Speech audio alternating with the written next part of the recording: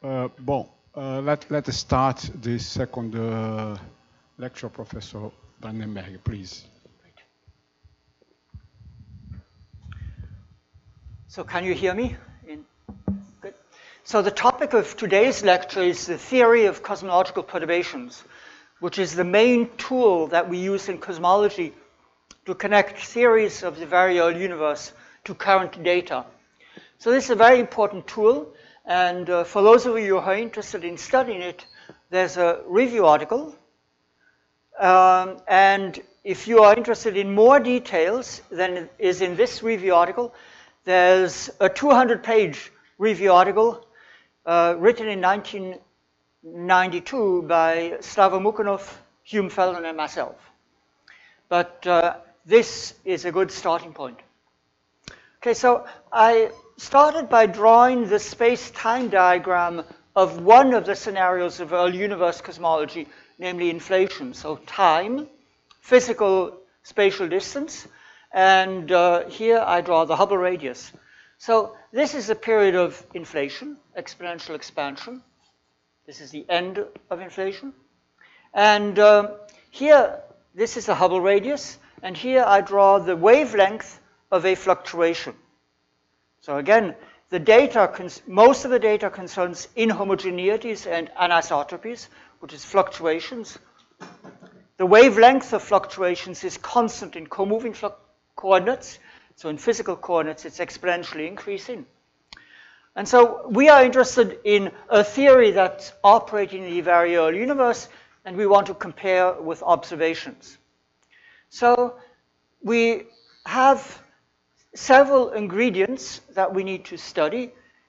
For if we imagine that it is quantum mechanics which is responsible for the generation of fluctuations, then we have the quantum generation.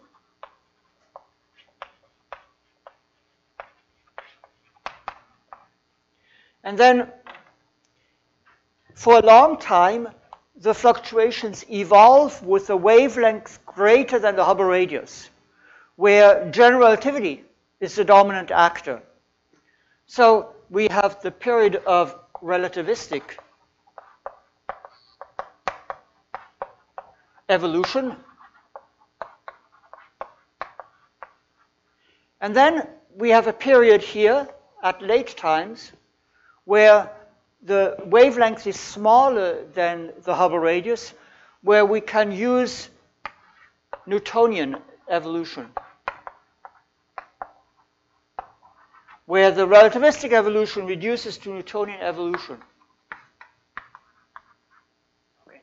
So now the way that I will structure this lecture is I will first discuss the Newtonian evolution to develop physical intuition, then I will discuss the relativistic evolution, and then at the end, the quantum generation. Because the quantum generation might not even be necessary in different models. So this is a structure. And now, the quantity that we need to compute is the power spectrum.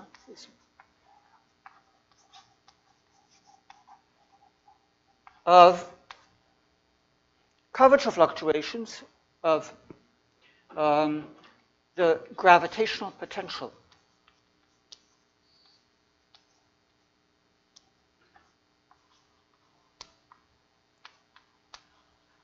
So in the Newtonian theory, there's a Newtonian gravitational force.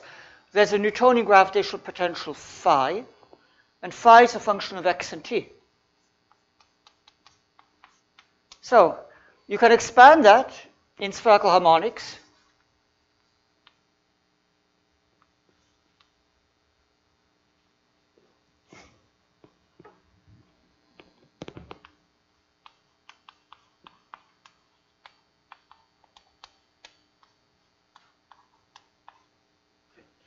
Um, this is a random variable with uh.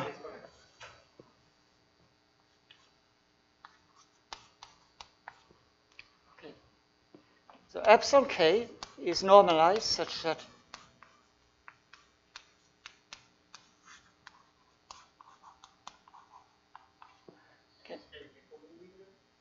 co-moving x is co-moving, k is co-moving. These are co-moving coordinates, like I introduced yesterday. And then the power spectrum of phi is defined in units. I don't care about the factors of pi. It is k cubed phi tilde of k t squared.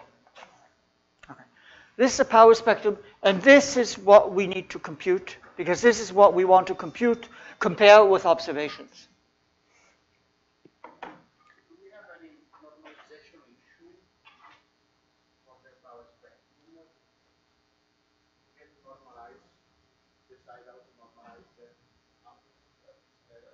Well, you see, we are computing the power spectrum, so the normalization is here. Therefore, this is unit amplitude. So, so no, I, I, I think this is, I think there's no issue here. This is the way. Okay. Now, astronomers or cosmologists, they introduce a notation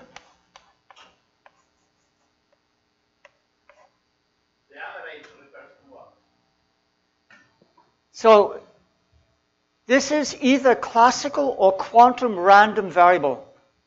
So if you're interested in, in quantum generation, then there's a quantum process. But if it's a classical random process, then it's, it's just a stochastic process. Which measure are you using? Which I won't answer that question. Whatever, whatever, whatever. Uh, so I'm using, so you, you, let's say you give me a mechanism in the early universe which produces fluctuations. So you are giving me the measure, and then this is the measure that enters here. It's not specified at the moment. No, I'm just taking whatever your theory of initial conditions is that has the measure inbuilt. And then this is the way it works. Okay. Now this NS is called the scalar spectral index.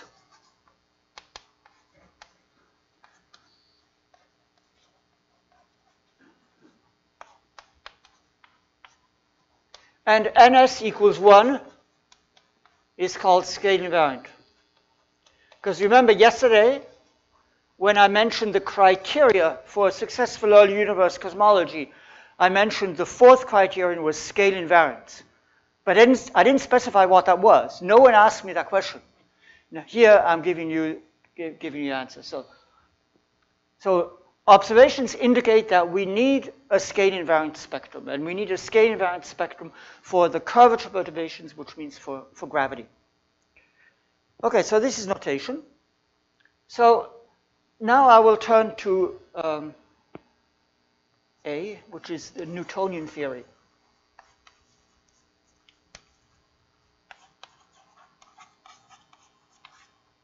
So, in the Newtonian theory, we have um, variables. So we have perfect fluid matter. So we have an energy density. We have a pressure. We maybe have a velocity of the fluid. And then we have uh, maybe even entropy. And then we have the Newtonian gravitational potential. So this specifies matter, this specifies gravity. So these are the variables.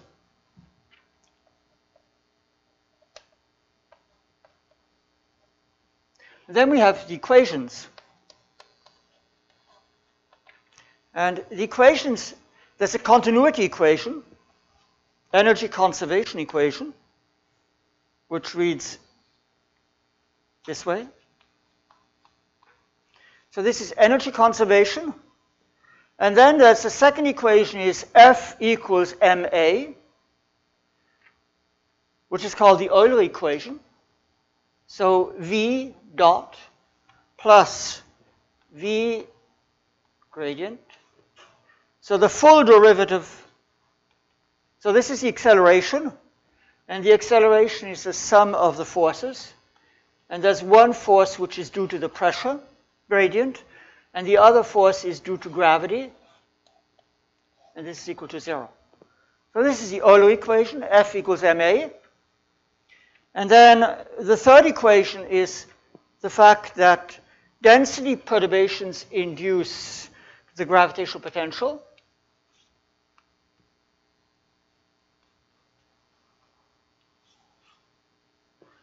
And then we also have um, an entropy conservation equation, which I'm not going to write down because there's no space here. And then in terms of the variables, the pressure is a typically a function of the energy density. So these are the equations of motion. So again, first step is variables, second step is equations of motion.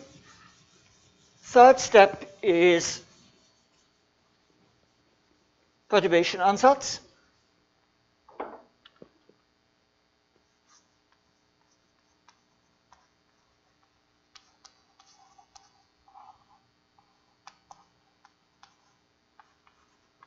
So we assume that the all of these variables uh, have a background contribution, which is only time dependent and small amplitude spatial perturbations.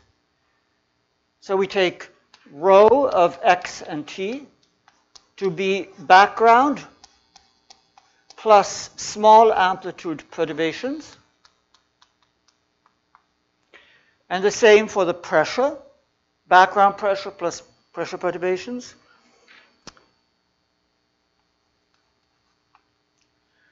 And then we stick this perturbation ansatz into the equations of motion and linearize.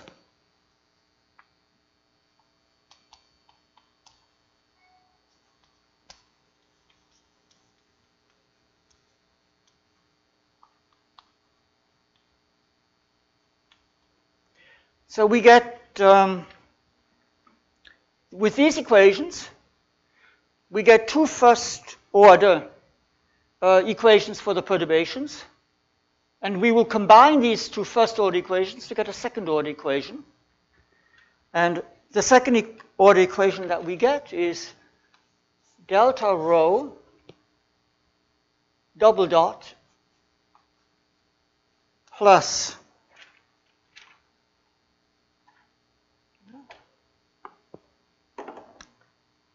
minus cs square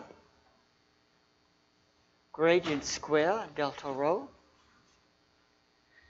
minus 4 pi g rho naught delta rho equals sigma delta square delta s where I have now assumed that the pressure fluctuation is related to the energy density fluctuation in this way and to the entropy this way. So here I've introduced the CS square and the sigma. So, and I should emphasize that these are spatial fluctuations and not temporal fluctuations. So this is not P dot, this is not rho dot. And if you assume that this is P dot and this is rho dot, and you get CS square using that wrong assumption, then you will get completely wrong cosmology. And I'll give you an example. You'll get completely wrong conclusions. CS square is defined this way, using the spatial fluctuations of P, the spatial fluctuations of rho.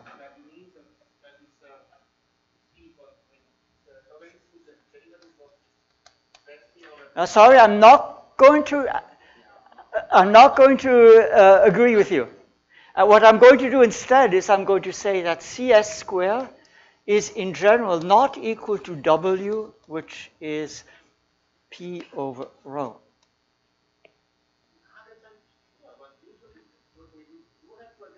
I'm happy. You, you just this is the way that I define it. You can define it in a different way. Sure.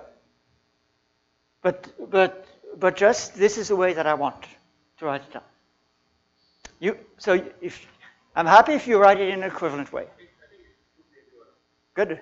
Good. I mean, for entropy constant, let's say, if entropy is is Yep.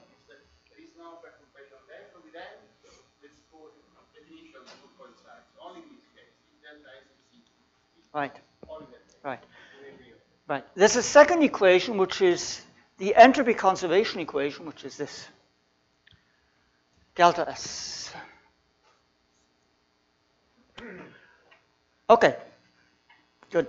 So let me put this equation in a box. But don't write it down yet because I'm going to make one change. So we are interested in linear perturbations. So theory of linear cosmological perturbations. Now at linear order, each Fourier mode evolves independently. So therefore, we are going to go to Fourier space.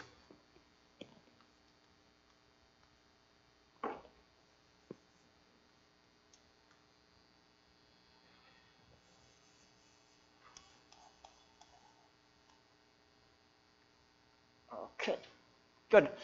So now I want to interpret this equation. So, so this equation says that the way that fluctuations evolve is as a consequence of two forces. There's a pressure force that makes fluctuations oscillate, and this is a gravitational force, Newton's gravitational constant. And what this does is it makes fluctuations grow. There's a gravitational instability which makes fluctuations grow, and there's a pressure force which makes fluctuations oscillate. And here you see k square appearing. So there's a critical uh, scale.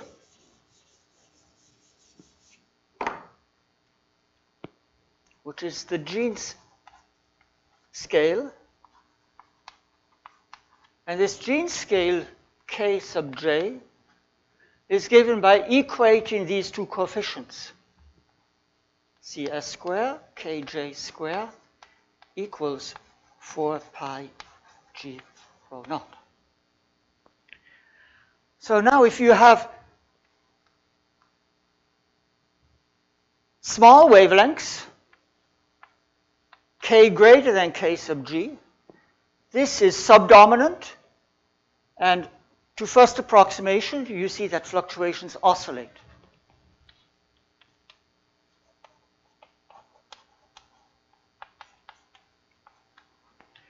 Whereas if you take long wavelengths, then the term that gives you oscillations is unimportant. Oscillations freeze out, and what happens is that fluctuations grow exponentially. Fluctuations grow. Okay. So now, what else? So this is the first lesson. Number one, this is critical Jeans length. Um, lesson number two is that entropy fluctuations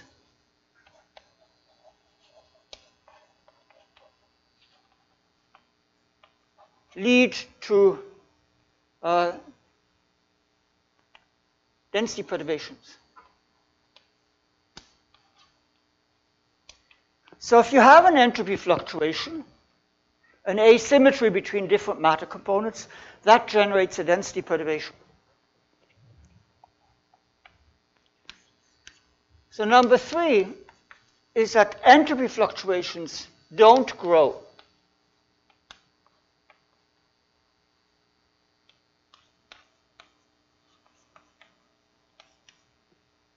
And the fourth lesson is that this critical scale depends on CS square. For example, if you have radiation dominant, then CS square is one third, and therefore Kj is very large. Uh, sorry, well, Kj is actually fairly small. Whereas if you have dark matter which dominates, particle dark matter, Cs square is zero, and therefore Kj is infinity, which means that you have instability for all wavelengths. Okay, so again, I've shown now the Newtonian cosmological perturbation theory uh, off of a Minkowski background. And these are the four lessons. Number one, number two, number three, number four. And this is all based on this equation.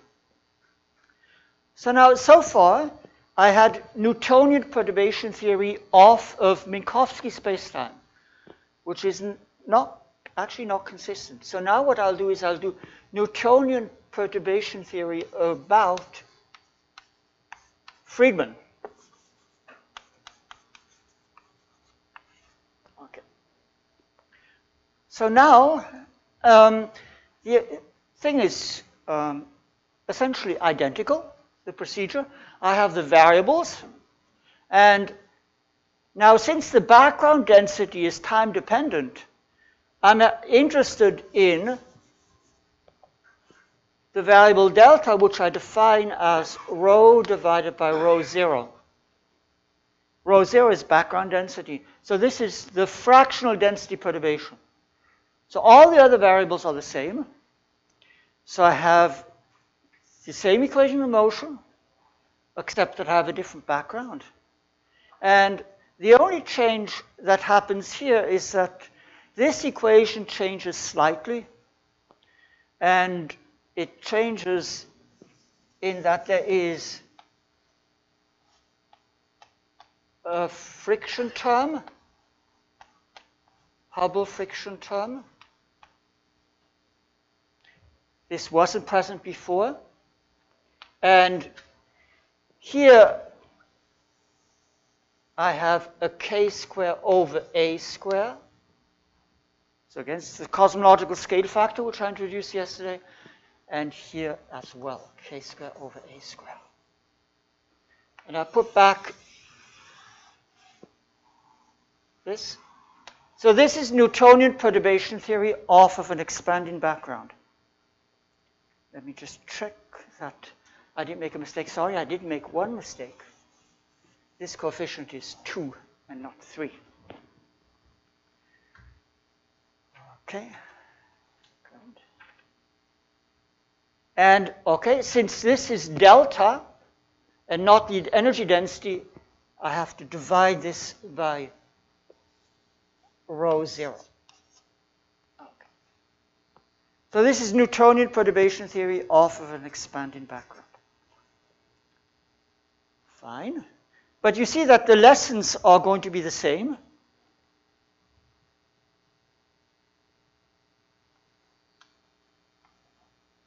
except that the co-moving Jeans length will depend on time because you have this factor Ka square. Okay, so fluctuations oscillate. Well, you have damped oscillations because of this term. And fluctuations grow. Instead of exponential growth, you now get power law growth. I didn't write down before that it was exponential growth, but in an expanding universe, it's power law growth. So th this is the Newtonian theory of cosmological perturbation.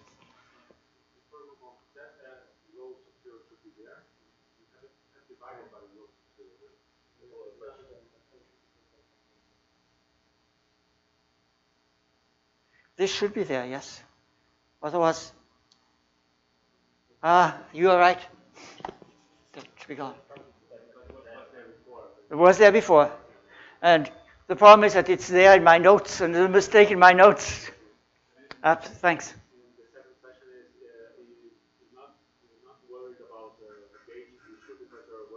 This is Newtonian. This is Newtonian. Okay, so now what I want to do is I want to give applications of this.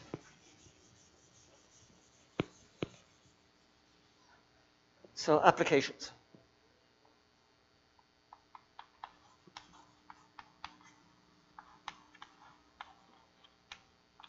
So the first application is a comparison of universes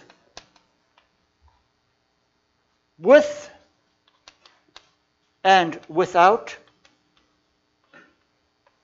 particle dark matter.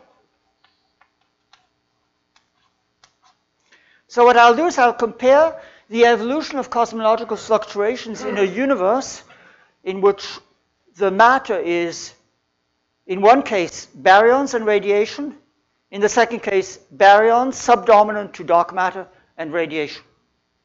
So, and the lesson of this exercise is going to be that there has to be particle dark matter. So, in fact, this I view this as a prediction that was made in the 1960s of particle dark matter. Okay, so what I will plot is the evolution in time of the energy density, delta rho, on scales corresponding to galaxies. So I don't write this down. So I'm interested in delta rho sub k for a k corresponding to the length scale of the galaxy separation. And there'll be three important times. T0, the present time, the time when the microwave background is produced, and the time of equal matter and radiation. Now, you see, this equation is only true if matter dominates. If radiation dominates, then I'm here following a subdominant component. So, first of all, I will look at a universe with uh, no particle dark matter. And this will be the white color. So we know the amplitude of the density perturbations today on galactic scales through observations. And these perturbations grow between recombination and the present time because matter is not coupled to radiation. So this is the evolution. So now let's take a universe which has dark, which has dark matter and baryons. Well, there's no difference between recombination and the present time. So this is a universe with particle dark matter. This is a universe without particle dark matter. I take the same amplitude today, and so I'm working backwards in time. Now, between recombination and equal matter radiation, a universe with baryons and without, with dark matter and without dark matter behave differently. Without dark matter, in this time interval, the baryons are coupled to photons. For photons, CS square is one third. The Jeans length is large.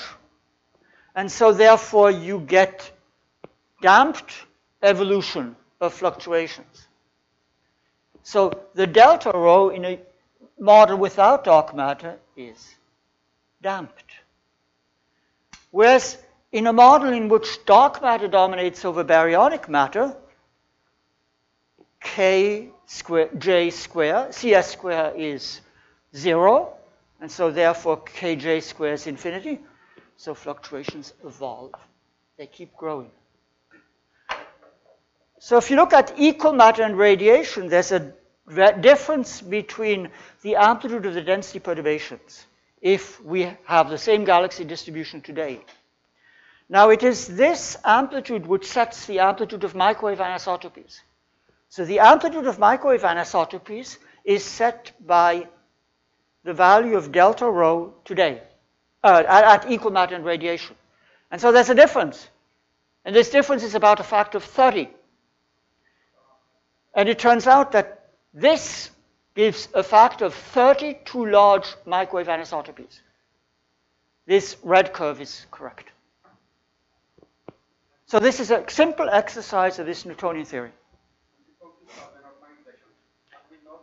Um, this is my normalization. I'm normalizing the amplitude on galactic scales by today. Galactic scales today. Right.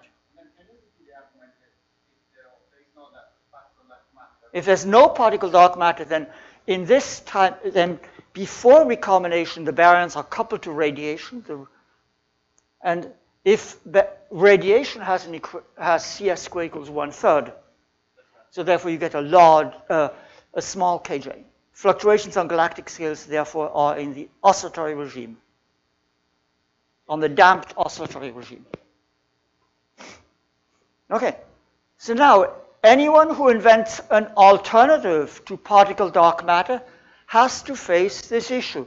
They have to show that in their model they get the correct agreement between the power spectrum of microwave anisotropies and the power spectrum of large-scale structure.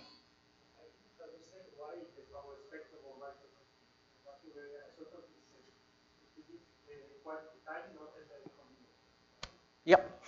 Okay, so let me, I'm not going to answer that completely. I'm just going to restate that. This sets the amplitude of CMB.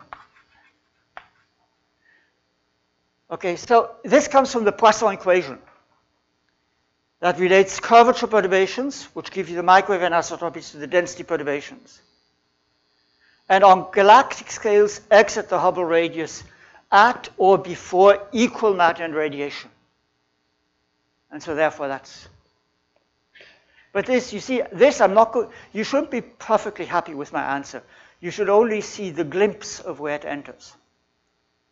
So the microwave anisotropies are set by the curvature perturbations. The curvature perturbations are related to the density perturbations via the Poisson equation.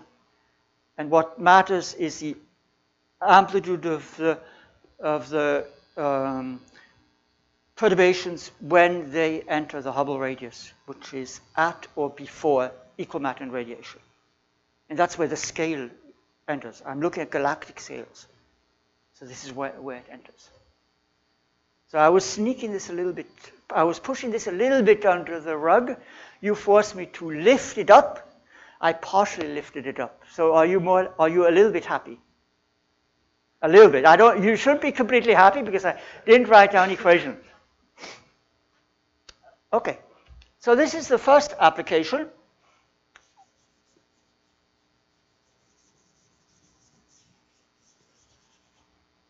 Application number two is you have a unified fluid model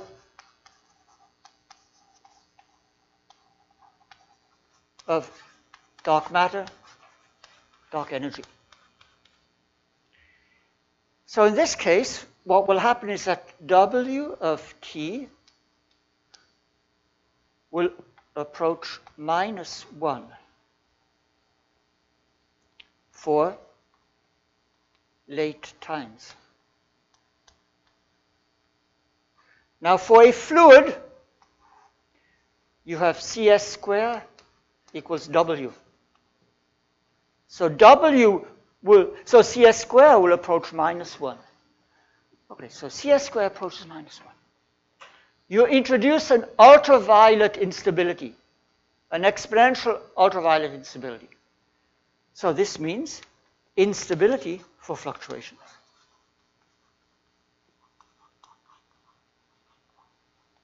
Now it's okay if this instability acts for a very short period of time. But if you want to be consistent with observations, this the redshift where this where the transition between dark matter and dark energy takes place has to be extremely close to redshift zero. It has to be so close to redshift of zero that you cannot explain the supernova data. So now this is uh, a reference with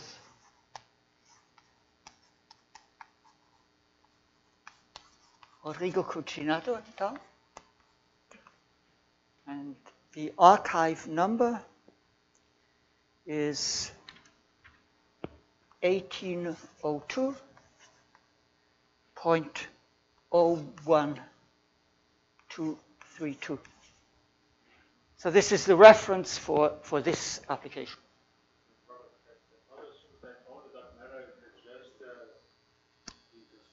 Yep. Yep one component. So,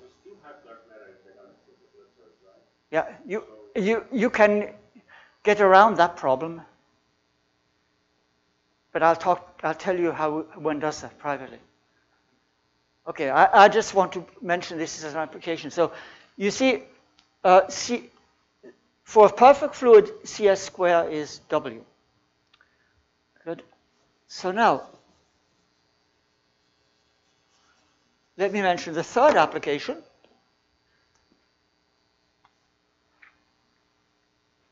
Let's assume that dark matter is a homogeneous scalar field. An oscillating scalar field.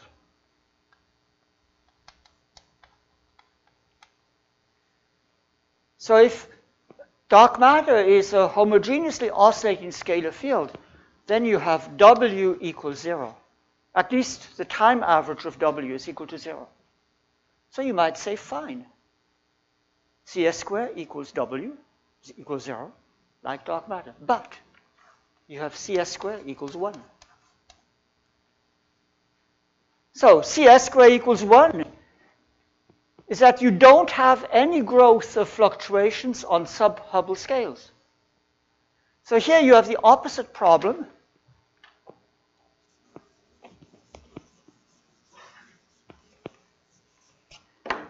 You have no late time growth.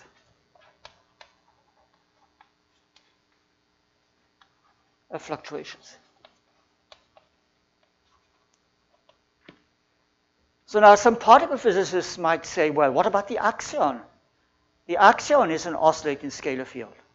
Well, if there were no axion domain walls, which then collide and form axionic particles, then axions would not work as dark matter. So the only reason why axions can work as dark matter is that you have most of the energy in the axions is not in the homogeneous component but it's in the re remnant energy of axion oscillations. Okay, so these are three. Uh, All these statements uh, have a lot of hypotheses behind them. More than the GR, your, Yes, your GR. Of, uh, of the sound velocity, lots of things. note, GR is an ingredient. Based on GR, I have this equation. This is GR. This is based on GR.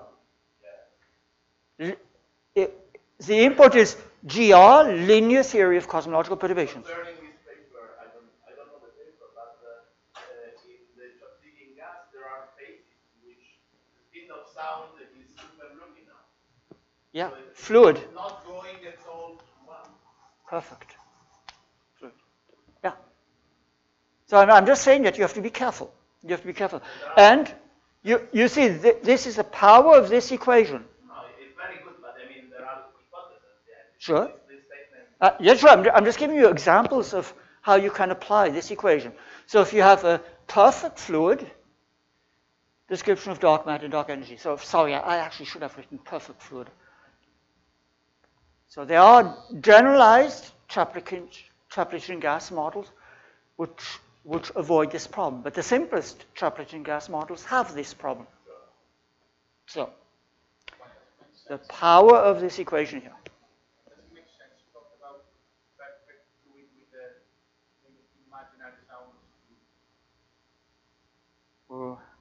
Do you do, do I need? I, I don't. You see, I don't want to answer that question because uh, uh, because I want to move on to the relativistic theory. the- you wanna go- Can I move on to? Okay, good. So you see, if you go back to the initial graph that I had, all I'm discussing now is late time evolution of fluctuations. But fluctuations that we are interested in now, they were on super Hubble scales for a long time, and this entire Newtonian analysis breaks down. So I need to discuss the relativistic theory of cosmological perturbations.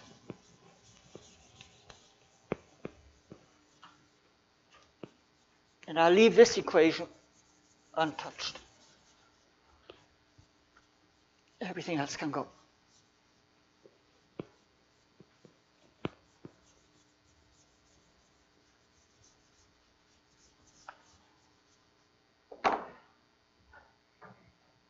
be classical relativistic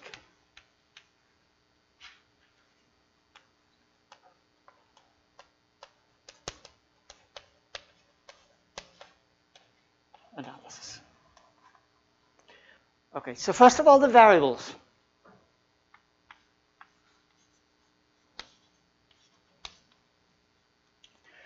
So now the variables are the metric, g mu nu. We don't just have a Newtonian gravitational potential, but we have the metric that describes the gravity. And then we have matter. Now, I will describe matter in terms of the simplest possible form of matter, namely a scalar field.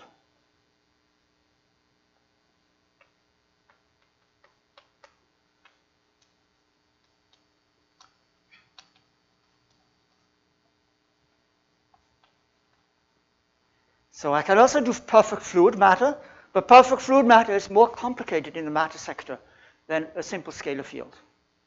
So now you see that you have many more variables than you had in the Newtonian theory. Okay, so that's the variables, then you have the equations of motion. Now the equations of motion are the Einstein equations.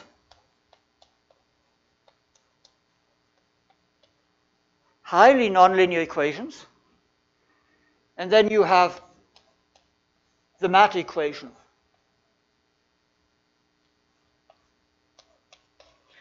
The Klein-Gordon operator acting on phi equals zero. Okay, so those are the equation of motion. So next step is perturbation ansatz. We write the metric Uh, as background metric, which only depends on time, this is background, plus small amplitude perturbations. So small amplitude fluctuations. We write the matter as background matter plus matter perturbations.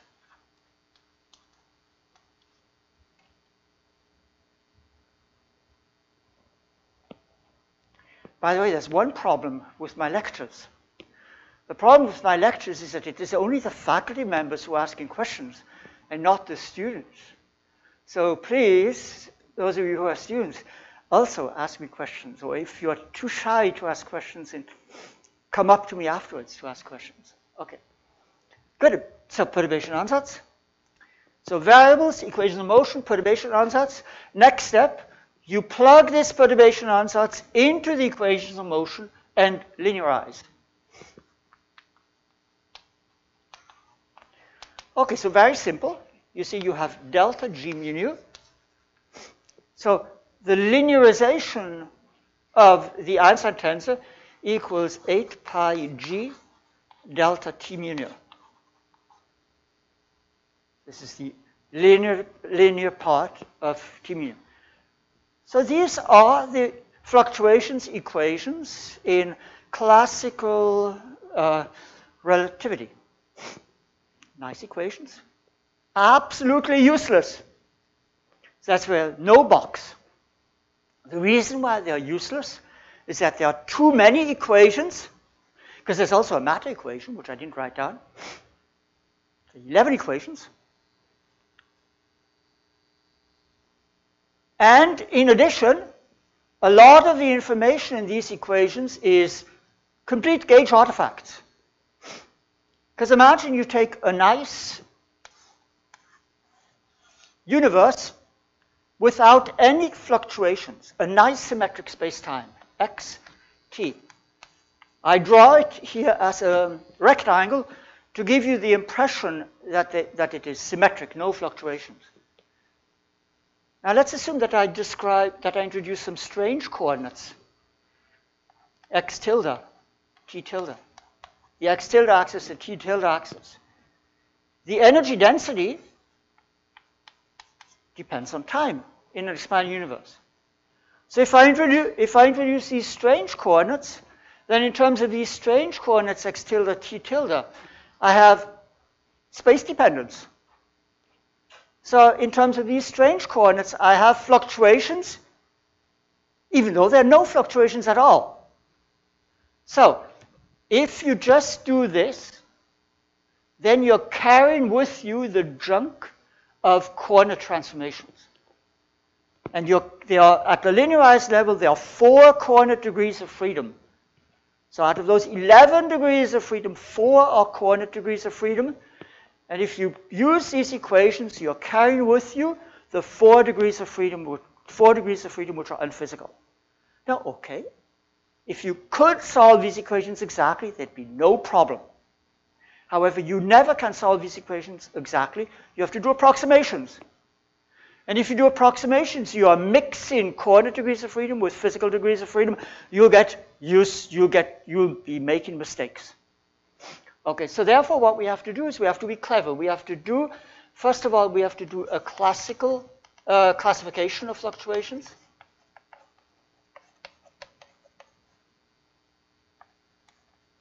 Step A and step B, we have to eliminate coordinate artifacts.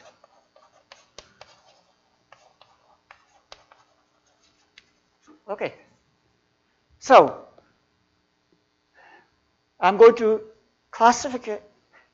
So, for example, if we're interested in density perturbations, we are not interested in gravitational waves. Gravitational waves propagate. We can also analyze them, but they are in completely independent to the density perturbations. So let's not mix gravitational waves and density perturbations. Let's treat them separately. That's the classification. So in this classification, we are reducing the number of degrees of freedom that we track. Here we reduce the number of degrees of freedom that we track. And the result of this reduction is from 11 degrees of freedom, you go down to one degree of freedom. That's a simplification. And after, after this simplification, we'll get one equation which looks very similar to this one. Okay, so bear with me. There'll be classification step and uh, elimination of coordinate artifacts. So now the classification is based on transformation under spatial rotations.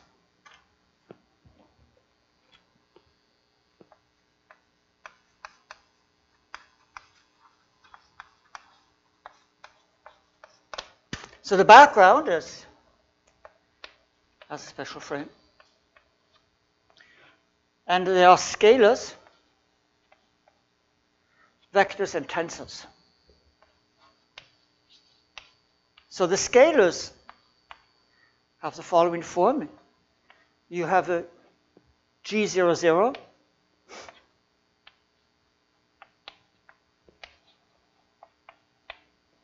These are equations which Nelson flashed up at the very end of his talk yesterday.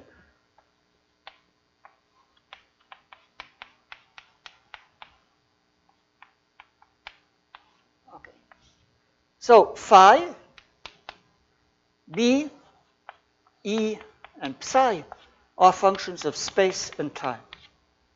So these are four scalar modes. So if you do a spatial rotation, obviously this is unchanged. So this is a time component. These are the spatial components. The diagonal of the spatial is invariant, and you can construct, if you take the gradient of a function, then you have something which is invariant. Here it's by symmetry, and if you take a second derivative, again. So you have four scalars,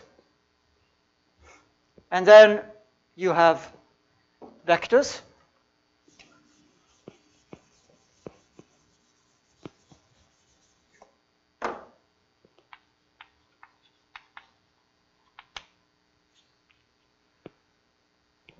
So I've already used G00.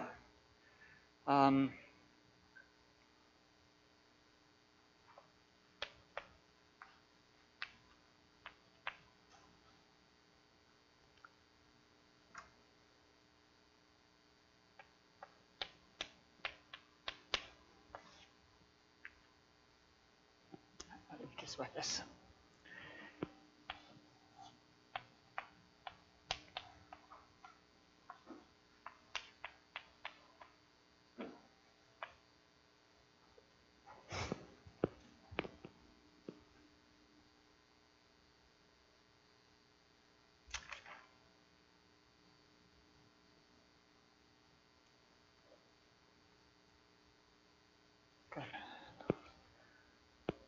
F I R I.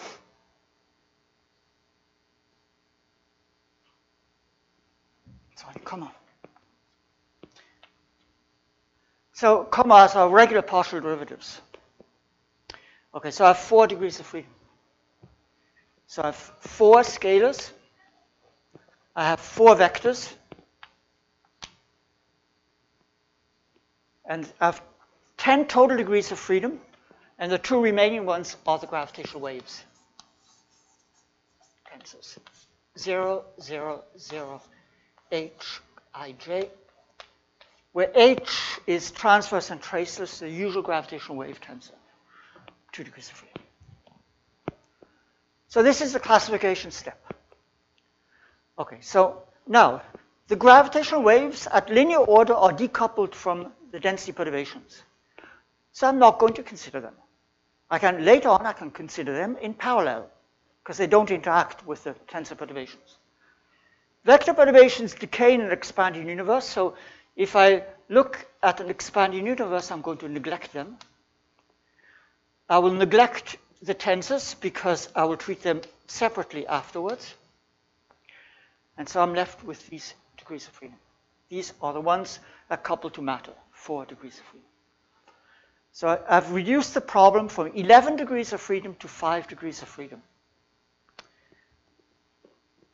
So now comes the elimination of coordinate artifacts.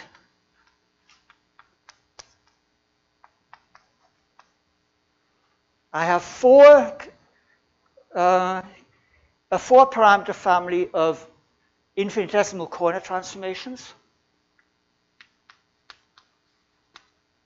And of these four degrees of freedom, two are scalars and two are vectors. I'll tell you why. This is homework problem. Figure out why two of them are scalars and two of them are vectors. Okay, so now what I will do is I will use these two scalar degrees of freedom to eliminate two variables.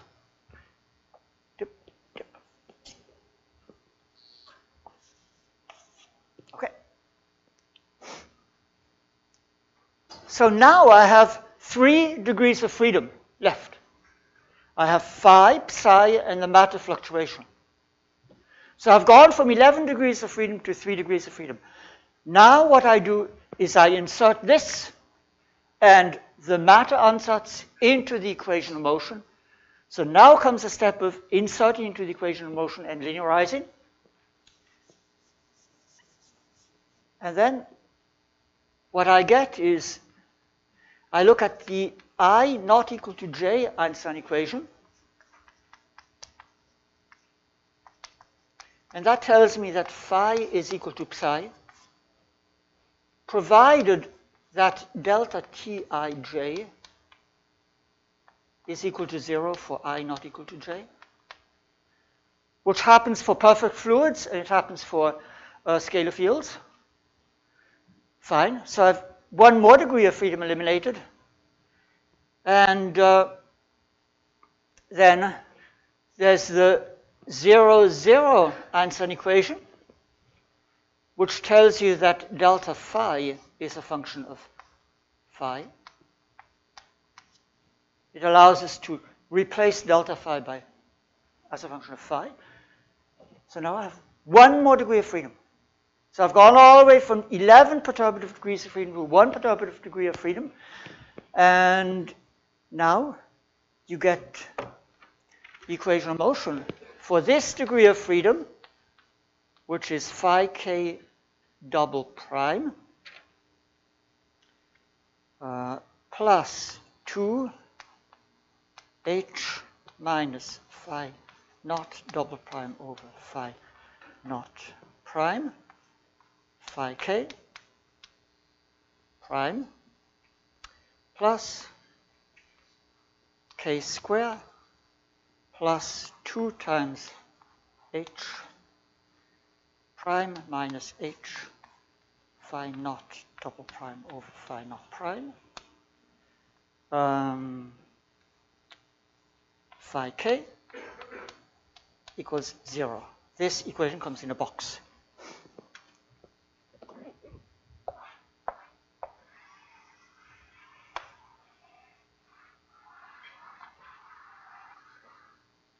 So this is how the metric fluctuations evolve at the perturbative level. So now I've introduced a little bit of notation. I've introduced uh, conformal time.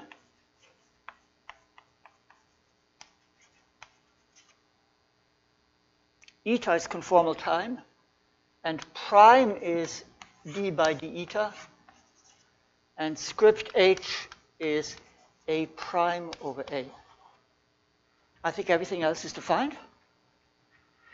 So this is the evolution of cosmological perturbations, in classical cosmological perturbations on super Hubble scales.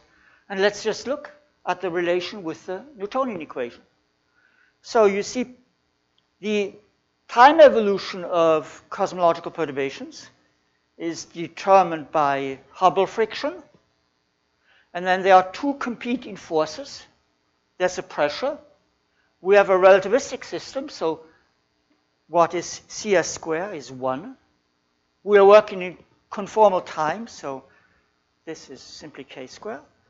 And this is, so this is the pressure, which makes perturbations oscillate. This is gravity, which makes perturbations grow. So this is a relativistic theory of cosmological perturbations.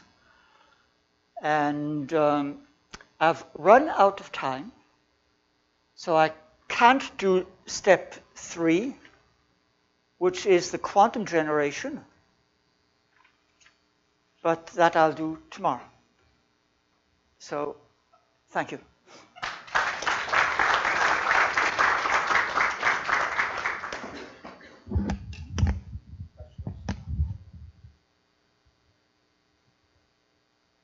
Students too.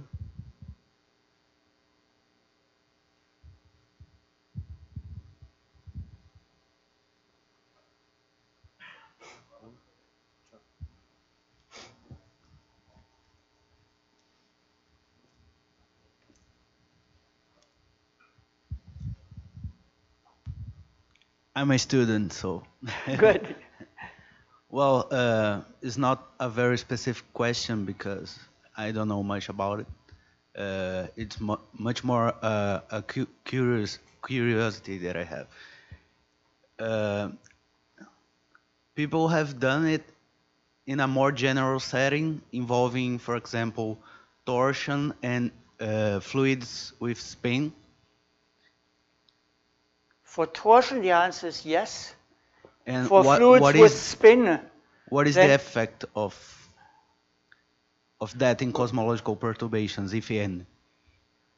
uh, or that I don't, I don't know.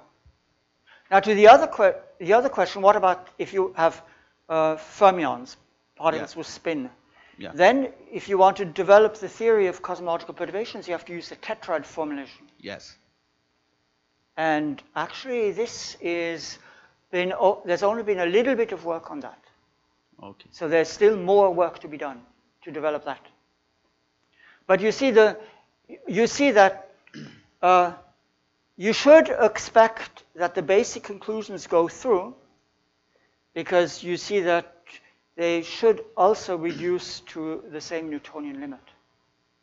yeah, sure. Uh, I mean, in the later time, I know that uh, uh, probably this question is r- irrelevant, but in earlier times, when spin Right. probably plays a major Right. role, role. Right? Right? You're absolutely right. But you see, the way that I structured the lecture is that I gave you these different steps. You identify the variables, you make a perturbation ansatz, you insert into the equation of motion, and you linearize. So let's go to the case of particles with spin. So now you have to use the tetrad basis. So you, the metric perturbations are going to be perturbations of the field Vielbein. And then the matter perturbations are going to be perturbations of the fermionic fields. The equations of motion you have in the tetrad basis, and you linearize them.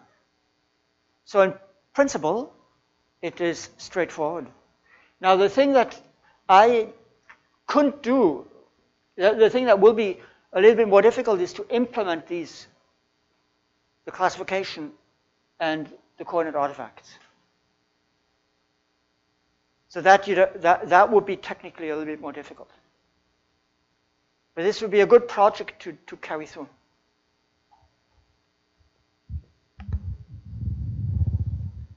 Any further questions? What happens with the other components of Einstein equations that are not considered? Because you just consider the zero zero component and the off diagonal. But what about the? That gives you, that gives you this equation. So I, I have used all of them.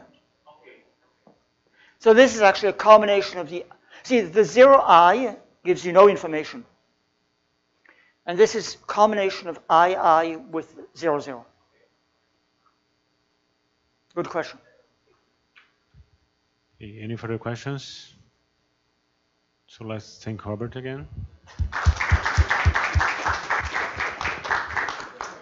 Okay, we'll be back in 10 minutes after a coffee break.